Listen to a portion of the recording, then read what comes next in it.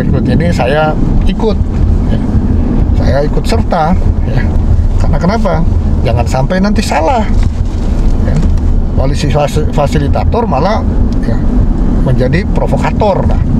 kan Ya, jadi bukan memberi ya, pencerahan memberi ini tapi justru jadi persoalan di lapangan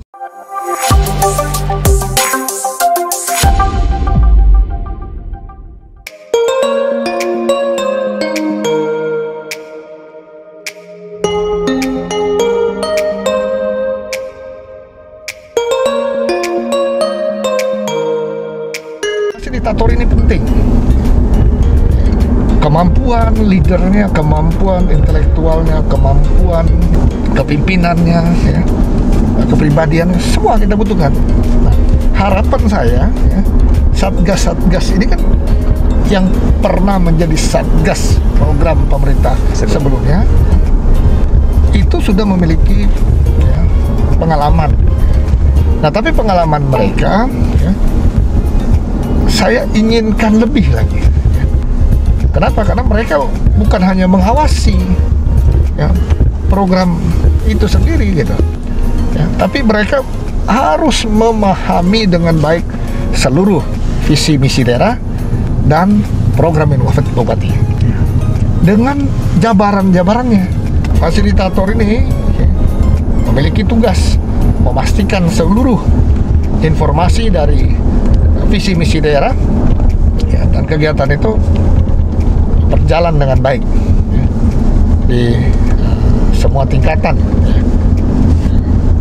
Kalau kita bicara 381, nah, kita belum bisa merekrut sebanyak itu. Jadi kita masih berusaha sedapatnya ya, sejumlah desa yang kita miliki. Ya, ya tergantung nanti ya, kemampuan ya, pembiayaan kita ya, dengan kondisi yang ada. Nah, rekrut ini saya ikut, ya. saya ikut serta, ya. karena kenapa? Jangan sampai nanti salah. Ya. Polisi fas- fasilitator malah ya, menjadi provokator, nah. kan? Ya, jadi bukan memberi ya, pencerahan, memberi ini, tapi justru jadi persoalan di lapangan. Saya katakan dengan peserta, ya, beri alasan ya, kepada saya ya, sebagai kepala daerah ya, apa alasan motivasi saudara untuk menjadi fasilitator? Dan bagaimana kemampuan? Ya, saudara ya, memahami program daerah ini. Bukan sekedar oh tahu RT bersih wajib belajar Malino Maju Rasda milenial mandiri ya semua bisa ngapal itu. Tapi esensi dari milenial mandiri itu apa? Wajib belajar itu apa isinya ya. Rasda plus itu apa? Intisarinya desa jadwal itu apa? Nah ini harus ya harus ya, teman-teman itu ya, harus pahami. Nah, apalagi mereka kan ex dari ya, mantan-mantan satgas ya yang pasti saya yakin mereka memiliki uh, background dengan pengetahuan dan disiplin yang berbeda-beda. Tapi fungsinya sekarang kan agak meluas dia menjadi fasilitator ya. Jadi dia harus ya, mampu lah menyesuaikan ya, semua situasi, terutama komunikasi. Kemarin kan sempat wawancara nih Pak, Eh, apa saja sih Pak sudah yang memang dari hasil wawancara yang kepada para peserta ini yang mereka ingin kenapa alasannya untuk masuk di fasilitator itu? Ya bermacam-macam. Ada yang alasan cari kerja,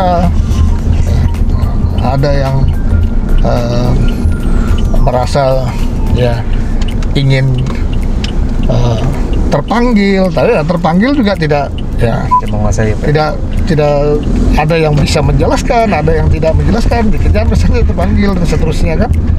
Ada yang uh, merasa ya uh, ingin berpa- membangun masyarakat, ya, ya macam-macam lah variasi lah.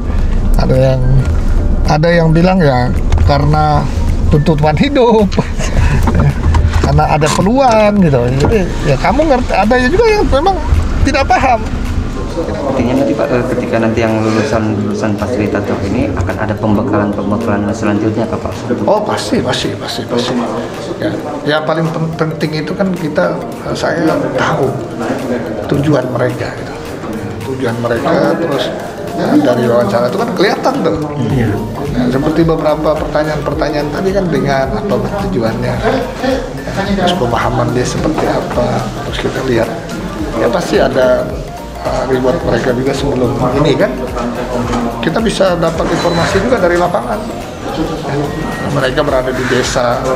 Ya, saya kan eh, eh, selama ini menjadi mitra pemerintah, wakil rakyat. Jadi saya juga berada di tengah-tengah masyarakat.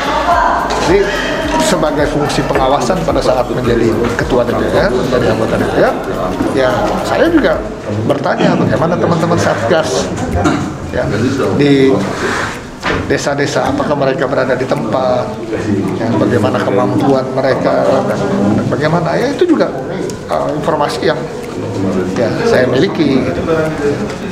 Nah, selain itu kita bisa mendapat informasi langsung dari ya warga yang nanti kita akan pertimbangkan jika memenuhi kriteria lah. Ya.